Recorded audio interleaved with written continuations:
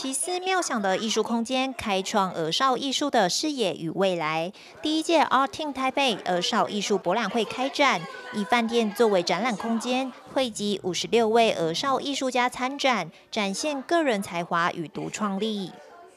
这次博览会是用饭店艺博式的方呃艺博呃饭店式的艺博来举办。一般从来没有用为孩子跟青少呃为儿童跟青少年来举办。那其实我很早以前就有这样子的呃的期愿望跟期许，是能希望能够能够把它做到。那很开心我们今天做到了，然 后谢谢大家。那呃这个过程其实真的非常不容易，哦，因为是呃是首创的，是应该是全台湾全亚洲第一个。儿少艺术博览会，那我们是用饭店式的方式举办，所以呢，在这一栋木舍酒店的一楼、二楼、三楼跟八楼，总共有十七个展间，五十六位参展人，他们真的很厉害，我们给他小朋友鼓鼓掌一下好不好？特别这一次，我们让很多小小艺术家们尽情的发挥，展出独一无二的作品，我想这样就非常令人值得前来支持，给予鼓励。而且我知道还规划有 Artin 的新这个一个奖项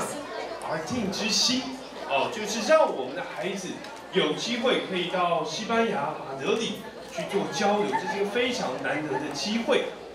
二方面也非常谢谢 Arthur 刚刚谈到这一次我们看到非常用心规划这样的展览地方，另外也有一个对于公益的展区，就是让我们的特教孩子。可以到这边用另外一种角度来感受、体验到艺术之美。我想让他们可以走出呃家庭，进入社会，感受到各界的温暖。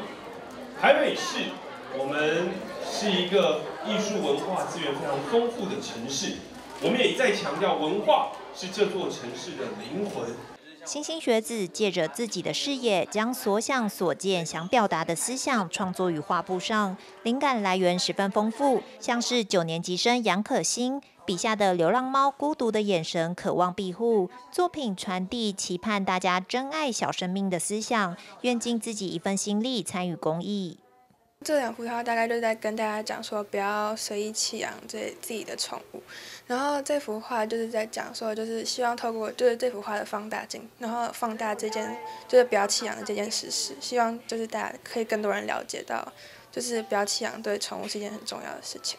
然后再来这幅画就是有点像猫的被弃养前跟弃养后的差别，就是猫弃养后它们就会变成像那种流浪动物，然后就。我觉得大家就是社会大众可以去关注一下这种议题，就是希望可以让就是流浪动物可以变少一点，大家可以领养代替就是